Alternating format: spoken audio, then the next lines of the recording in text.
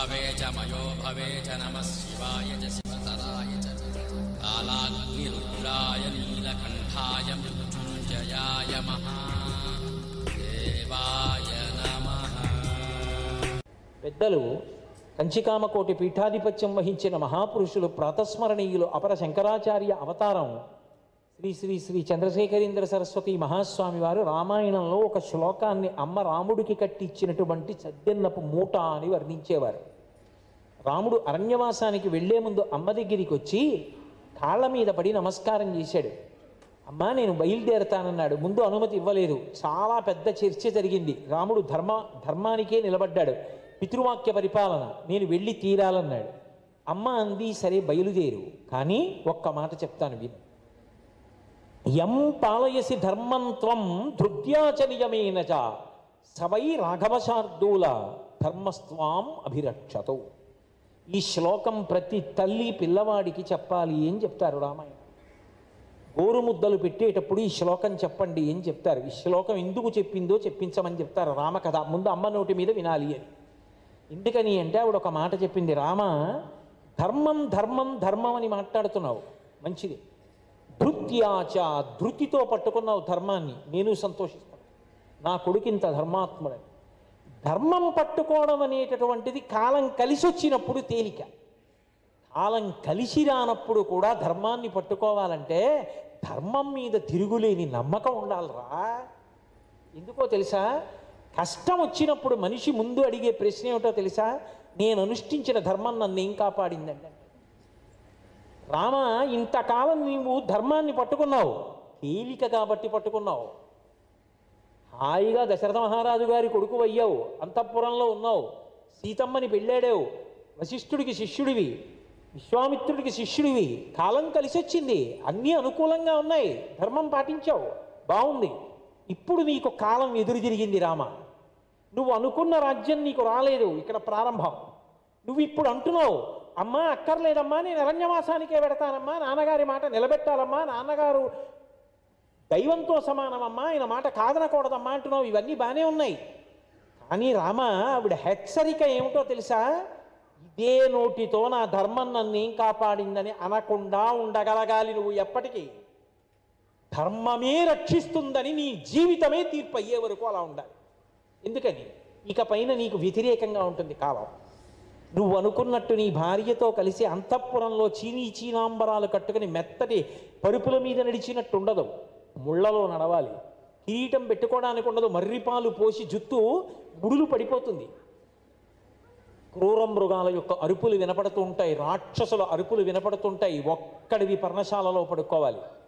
ఒక్కొక్కనాడు మూడు రోజులు నాలుగు రోజులు అరణ్యంలో వర్షం పడితే వెళ్ళి ఏమీ తెచ్చుకోవడానికి కుదరకపోతే గారపిండి తెచ్చి పర్ణశాలలో పెట్టుకుని ముద్దలు చేసి గారపిండి ముద్దలు తినాలి. ఈ కష్టాలన్నీ అనుభవించేటప్పుడు నేల మీద పడుకున్నప్పుడు పక్క నుంచి పాములు పాకి వెళ్ళిపోతుంటే దిక్కుమాలిన ధర్మం పట్టుకుని నేనేం సాధించాను ఆ రోజు లక్ష్మణస్వామి చెప్పినట్టు తిరగబడి మా నాన్నని ఖైదులో పెట్టి రాజ్యం ఏలుకుంటే ఎంత బాగుండేదని నువ్వు అనకూడదు సుమా. అప్పుడు కూడా ధర్మం నన్ను కాపాడుతుందనే నువ్వు పట్టుకోగలగాలి. ధర్మం పట్టుకోవడం నాకు సంతోషం అని పట్టుకోవాలి ధృత్యాచ నియమేనచ అంటే రామ రాజ్యం పోలేదని ఏడవట్లేదుగా? నువ్వు ఏడిస్తే ఎందుకు ఏడవాలో తెలుసా? నువ్వు ధర్మం తప్పిన రోజున ఏడవాలి. నువ్వు ఏడవని రోజంటూ జీవితంలో ఉంటే నువ్వు ఏ రోజు ధర్మం తప్పలేదు కాబట్టి ఏడవకూడదు. అలా బ్రతికే అదృష్టము నీకు కలుగుగాక. నీవే ధర్మమగుదువుగాక నీవు పట్టుకున్న ధర్మము గురించి విని లోకమంతా ధర్మమును పట్టుకొనుగాక. ఎం పాలయసి ధర్మం త్వం ధృత్యాచర్యమేన చ సవై రాఘవశార్దూలా ధర్మస్వాం అభిరక్షతో. నాకు నమ్మకమైన ధర్మము నిన్ను కాపాడుగాక. సద్దెన్నపు మూట కట్టి ఇచ్చింది ప్రయాణంలో తినమని. పట్టుకున్నాడు రాముడు. కలిసి వచ్చింది లెక్క పెట్టలా? రాముడి జీవితంలో ఏడవల. ఏడవల అంటే నా ఉద్దేశం కుంగిపోలేదు రాముడు. ఎందుకు కుంగిపోలేదు అంటే నేను ఇవాళ ధర్మం ఏమైనా తప్పానా? నేను తప్పలేదు. రాముడు ఏడవలేదు. రాముడు ధర్మం తప్పిన రోజున రాముడు కుదేలైపోతాడు నేలబడిపోతాడు. రాముడి సంతోషం అంతా ఏమిటంటే నేను ధర్మం తప్పానా? తప్పలేదు. కాబట్టి నేను ఎందుకు బాధపడాలి? నా ధర్మం నన్ను కాపాడుతుంది. ఒక్క మాట చెప్తాను జ్ఞాపకం పెట్టుకోండి. రాముడికి కేవలముగా ప్రయోజనమే కావాలనుకుంటే రామాయణంలో అసలు వాలితో స్నేహం చేసుకుని సుగ్రీవుడితో స్నేహం చేసుకోవడం మానేస్తే వాలి చిటిక వేస్తే సీతమ్మని రామనాథుడు తీసుకొచ్చి అప్పచెప్తాడు చచ్చిపోయే ముందు అదే అడిగాడు కూడా. అయిపోయింది రామాయణం. కానీ ధర్మం తప్పిన వాలితో నాకు స్నేహం అక్కర్లేదు. ధర్మంలో ఉన్నటువంటి సుగ్రీవుడితో స్నేహం చేసి కష్టాలు పడైనా సరే నేను సీతమ్మని తెచ్చుకుంటాను అన్నాడు కాబట్టి సుందరకాండ యుద్ధకాండ వచ్చాయి. వచ్చాయి కాబట్టి ధర్మాన్ని పట్టుకున్నాడు కాబట్టి రాముడి గురించి ధర్మం గురించి చెప్పిన వాడు ఋషి కాదు. ఒక రాక్షసుడు చెప్పాడు రామో విగ్రహవాం ధర్మ. రాముడంటే రాశీభూతమైన ధర్మమే. నరుడిగా వచ్చినటువంటి రాముడు ధర్మాన్ని పట్టుకున్న కారణం చేత త్రేతాయుగం అయిపోయినా ద్వాపరయుగం అయిపోయినా ఇవాళ కలియుగం వచ్చినా చెప్తే మొట్టమొదట కథ ఏది చెప్తుంది? తల్లి అంటే రామకథే చెప్తుంది. రామనామమే చెప్పుకుంటాం. రామనామం వ్రాస్తాం. ఎందుకని? ఎక్కడ ధర్మం ఉంటుందో అక్కడ గెలుపు ఉంటుంది ధర్మము రక్షిస్తుందన్న పూనిక ఆ ధర్మాన్ని విడిచిపెట్టకని చెప్పినది ఎవరు రామాయణంలో అంటే మొదట ఈ మాట చెప్పి హెచ్చరిక చేసి రాముణ్ణి మానసిక మానసికంగా సిద్ధం చేసింది ఎవరు అంటే తల్లి కౌసల్యాది ఒక్కొక్క తల్లి ఎంత కష్టపడితేనండి మహాత్ములు తయారయ్యారు. పుటం పెట్టని అగ్నిహోత్రం ప్రకాశిస్తుందా? ఉరిపిడి లేని మణి ప్రకాశిస్తుందా? అసలు ఒక్కొక్క తల్లి కష్టం. బుళ్ళపూడి వెంకటరమణ గారు అంత లబ్ధప్రతిష్ఠుడయ్యాడంటే గోదావరి పుష్కరాల్లో రాజమండ్రి రాజమహేంద్రవరంలో గోదావరి తీరంలో ఆయన విగ్రహాన్ని ఆవిష్కరించారంటే అమ్మ చెక్కిన బొమ్మ. ఒకనొక నాడు ఉదయం ఏడు గంటలకి ప్రింటింగ్ ప్రెస్ కెడితే రాత్రి ఏడు గంటల వరకు కంపోజింగ్ ఉద్యోగం చేస్తూ ఆవిడ కాళ్ళ మీద అలాగే నిలబడి కాళ్ళు బలపాలు కట్టేస్తే రెండు ఇడ్లీలు కొనుక్కొని ఇడ్లీలు కొడుక్కి పెట్టి పచ్చడి తాను తిని కొడుకుని వృద్ధిలోకి తీసుకొచ్చిన తల్లి. కక్కిగారు అబ్బాయి అన్న పేరుతో ఆయనే వ్రాసుకున్నారు వ్యాసం. ఒక్క మసాలా దోశ కొనుక్కుంటే అట్టు ఆయన తింటుంటే ఆ కూర మాత్రమే ఆవిడ తిని కూర కూడా తినేద్దామని చెప్పి వెంకటరమణ గారు వేళ్ళు కదుపుతుంటే ఆ కూర కోసం మా ఇద్దరి వేళ్ళు జగడమాడుకున్న ఆయనకు రాసుకున్నారు. అంత కష్టపడి పెంచింది మహాతల్లి. ఆవిడ పడిన కష్టం కదూ ముళ్ళపూడి వెంకటరమణ గారిని అంత వృద్ధిలోకి తీసుకొచ్చింది ఆయన పరమ సంతోషంతో వ్రాసుకున్న వ్రాస వ్యాసం. నేను కక్కిగారు అబ్బాయి అన్న పేరుతో వాళ్ళ అమ్మగారు పడ్డ కష్టాలు. బాపు గారు అంత గొప్పవారు అయ్యారు అంటే అంత కీర్తి వాళ్ళ అమ్మగారిది. నీ గొప్ప కాదురా అది ముళ్ళపూడి వెంకటరమణ గొప్ప. వాడిని వదలకురా ఎప్పుడు జీవితంలో అని చెప్పింది మా అమ్మ అని చెప్పుకున్నారు స్నేహానికి పరాకాష్ఠగా. వాళ్ళ అమ్మగారు చెప్పిన తీసుకొచ్చినటువంటి కీర్తి భానుమతి రామకృష్ణ గారు చలనచిత్ర రంగంలో అంత లబ్ధ వాళ్ళ అమ్మగారు పెట్టిన భిక్ష. చిన్నతనంలో మహాతల్లి భానుమతి గారి తల్లిగారు తండ్రి గారు తినడానికి కూడా ఏమీ లేకపోతే పిల్లలకి అన్నం పెట్టేసి రాత్రి పెట్టడానికి అన్నం లేదు అంటే గిన్నెలో పెట్టి దాచి పెరట్లో ఉన్న బచ్చలి కూర తెచ్చుకుని నీళ్ళలో ఉడికించుకుని ఉప్పు కారం వేసుకు తిని నీరసం వచ్చేస్తుంటే ఆవిడ హార్మోనియం వాయిస్తుంటే ఆవిడ తంబురా వాయిస్తూ ఆయన తంబురా వాయిస్తూ త్యాగరాజస్వామి పంచరత్న కీర్తనలు రాత్రల్లా పాడి పాడి కన్నీరు కారుస్తూ పడుకుని మా అమ్మ పెంచి పెద్ద చేసి మంగళగౌరీ వ్రతంలో రత్నమాల కథ నాకు చెప్పింది. అందుకే నేను మొట్టమొదట తీసిన చలనచిత్రం రత్నమాల అని చెప్పుకున్నారు భానుమతి గారు. ఆవిడంత కష్టపడి పెంచింది తల్లి. శివాజీ జీవితంలో దార్శనికురాలై నిలబడినది తల్లి. ఒకప్పుడు శివాజీ గారి గురువు గారు సమర్థ రామదాసు గారు ఓ పొట్లం ఇచ్చారు. ఇంటికి వెళ్ళి శివాజీ గారు పొట్లం ఇప్పితే అందులో ఓ కొబ్బరికాయ ఉంది గుర్రం లద్ది ఉంది కొన్ని బొమ్మరాళ్ళు ఉన్నాయి శివాజీ తెల్లబోయి గురువుగారు ఏమిటి ఈ ప్రసాదం ఇచ్చి పంపించారని చూశారు. చూస్తే తల్లి వెంటనే వచ్చి చెప్పింది ఒరే గురువుగారు ఇచ్చిన ప్రసాదానికి అర్థం ఏమిటో తెలుసా? అన్నీ కళ్ళకద్దుకు నోట్లో వేసుకునేవి కావు. శిష్యుడివి కనుక నీకు తన యొక్క పాఠాన్ని నా ద్వారా పంపించారా? కొబ్బరికాయ పైకి కఠినంగా ఉండి లోపల సారవంతమైన నీటితోటి కమ్మటి గుజ్జుతో ఎలా ఉంటుందో అలా ప్రజల్ని భయభక్తులతో ఉండేటట్టుగా పైకి కఠినంగా కనిపించిన లోపల మృదు స్వభావి అయి మహారాజు ఉండాలని నీకు బోధ చేస్తున్నారు సమర్థ రామదాస్ గారు. బొమ్మరాళ్ళు పంపించారంటే అర్థం ఏమిటో తెలుసా? కొండల మీద కొండలు కట్టమని హెచ్చరిక చేస్తున్నారు. గుర్రపు లద్దె పంపించారంటే అర్థం ఏమిటో తెలుసా? నువ్వు గెలవాలంటే నీకు ఆశ్విక దళం బాగా ఉండాలి గుర్రాల్ని బాగా సిద్ధం చేసుకోమని గుర్రాల దండు సిద్ధం చేసుకోమని గురువుగారు నీకు కబురు చేశారు. అని తల్లి దార్శనికురాలై గురువుగారు పంపిన సందేశం కొడుకు అర్థం కాకపోతే విడమర్చి చెప్పినటువంటి తల్లి శివాజీ గారి యొక్క తల్లి. ఈ దేశంలో మహాత్మా గాంధీ గారి జీవిత చరిత్ర చదివితే ఒకనాడు గీత దాటకూడనటువంటి స్థితిలో ఆయన ఇంకా కొద్ది క్షణాల్లో గీత దాటుతారనగా వేశ్యాలంపటంలో పడిపోతారనగా ఆయన లంపటంలో పడకుండా కాపాడినది అమ్మకిచ్చిన మాట అమ్మ ముఖం. ఈ దేశంలో తల్లి చెక్కిన బొమ్మలు ఎన్నో. ప్రతి మహా మ- ప్రతి మహానుభావుడి యొక్క జీవితం వెనకాతల తల్లి యొక్క సందేశం ఉంది. తల్లి చెక్కినటువంటి మూర్తులు ఎంత గొప్ప వ్యక్తి కానివ్వండి ఆ తల్లి కూడా సహజంగా ఒక బలహీనతని పొంది ఉంటుంది.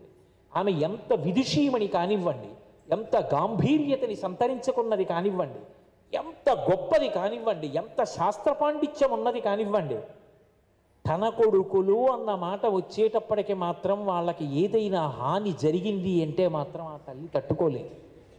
ఆ బిడ్డల కోసం ఆవిడ పడేటటువంటి శ్రమ ఆ బిడ్డల కోసం పడేటటువంటి పరివేదన అనన్య సామ మహాభారతంలో కుంతీదేవి చేసిన దోషం ఏమిటి?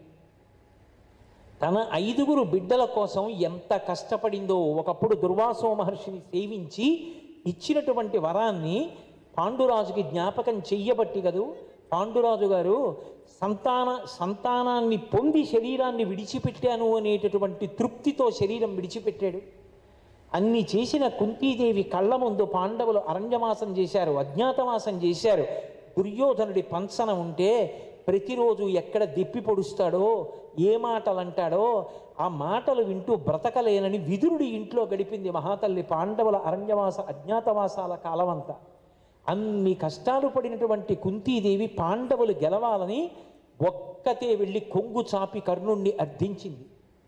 ఆ పాండవుల సంరక్షణం కోసమని. ఇన్ని కష్టాలు పడిన కుంతీదేవి చిట్ట చివర కురుక్షేత్ర సంగ్రామం అయిపోయిన తరువాత కూర్చుని ఉండగా ఒక్కొక్కరి పేరు చదువుతున్నారు. ఆ చదువుతున్నప్పుడు ధృతరాష్ట్రుడు అడిగాడు వీళ్ళందరూ ఎక్కడికి వెళ్ళారు? చెప్పగలవా? యుధిష్ఠరా అని అడిగాడు.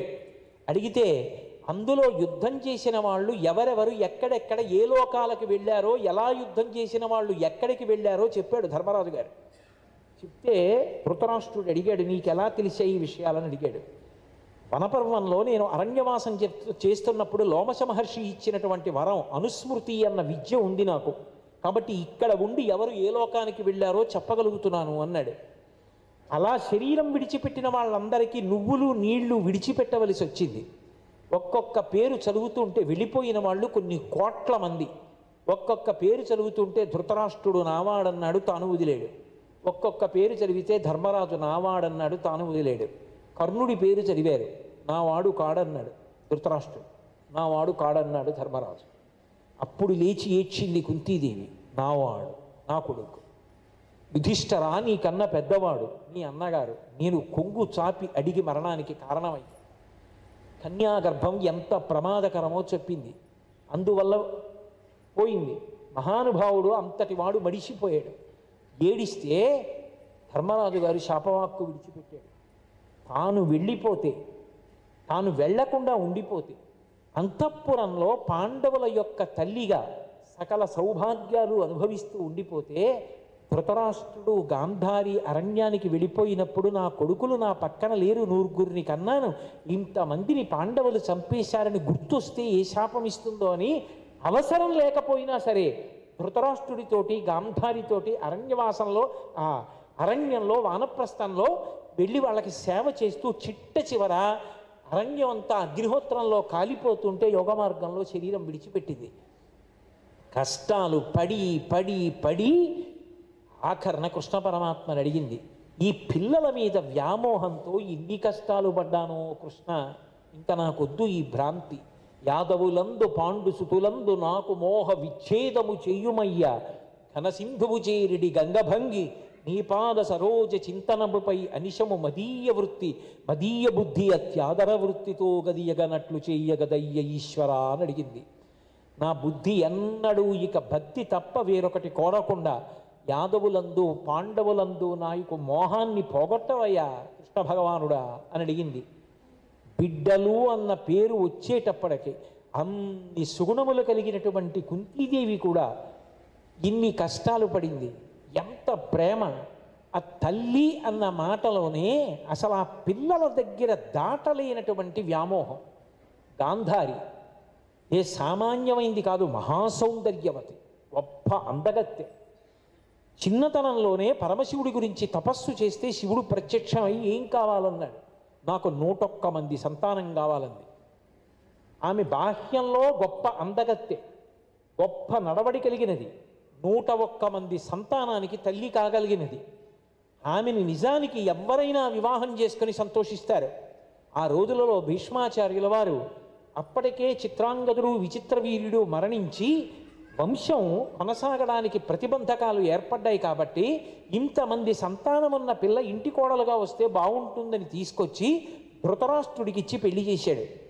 పెళ్ళి చేస్తే తాను అంత అందగత్తె అయినా తన భర్త చూడని వైభవం తనకు అక్కర్లేదని కళ్ళకి బట్ట కట్టుకుని బ్రతికింది. మొట్టమొదట అసూయ ఉన్న తన బిడ్డల కన్నా పాండవులు వృద్ధిలోకి వచ్చేస్తున్నారని కొంత మాత్సర్యపడినా తరువాతి కాలంలో ఆమె ధర్మాన్నే పట్టుకుంది. ద్రౌపదీదేవి వస్త్రాపహరణం చేసిన తరువాత ధృతరాష్ట్రుడి దగ్గరికి వచ్చి ఇప్పటికైనా జోక్యం చేసుకో దుశ్శకనములు కనపడుతున్నాయి ఇంటి కోడలు అవమానింపబడకూడదు అని చెప్పింది. చిట్ట చివర నూరుగురు కొడుకులు హతులైపోయారు. నూరుగురు మరణిస్తే ధృతరాష్ట్రుడు గాంధారి వచ్చి కూర్చున్నారు. ఐదుగురు పాండవులు వచ్చి నిలబడ్డారు. కృష్ణుడి మీద భారం వేసి మహాపతివ్రత ఏం శాపమిస్తుందో? రాజ్యం రావడం ఒకెత్తు. కానీ నూరుగురు కొడుకులు పోయారన్న ఆవేశంతో ఏ మాట అంటుందో? ఐదుగురు వచ్చి నిలబడ్డారు. రగిలిపోయింది గాంధారి హృదయం. ఏరా నూరుగురు కొడుకులలో ఒక్క కొడుకు వృత్తులైన తల్లిదండ్రుల్ని బ్రతికించడానికి అక్కరగా ఉండే యోగ్యుడు మీకు ఒక్కడు కనపడలేదురా నూరుగురిని చంపాలా అని ఆవిడ ఆవేశానికి ఆవిడ కోపానికి భయపడి అర్జునుడు కృష్ణుడు చోటుకి వెళ్ళాడు పాండవులు వెనక్కి వెళ్ళారు. ఆవిడ ఆవేశంతో మాట్లాడుతుంటే కంటికి కట్టుకున్న కట్టు కొంచెం జారింది. ఆ కంట్లోంచి వచ్చిన వేడి ధర్మరాజు గారి పాదాల మీద పడితే పాదాలు కమిలిపోయాయి ధర్మరాజు గారికి. అంత ఆక్రోశం పొంది. ఇక శాపవాక్కు ఇవ్వడానికి సిద్ధపడుతోంది. వ్యాస భగవానుడు వచ్చి దర్శనమిచ్చి ఈ అసూయ ఈ మాత్సర్యంతోనే జీవితాన్ని పాడు చేసుకున్నావు గాంధారి అని హితోపదేశం చేస్తే నేను ఇప్పుడు మాత్సర్యంతో మాట్లాడటం లేదని శాంతి పొందింది.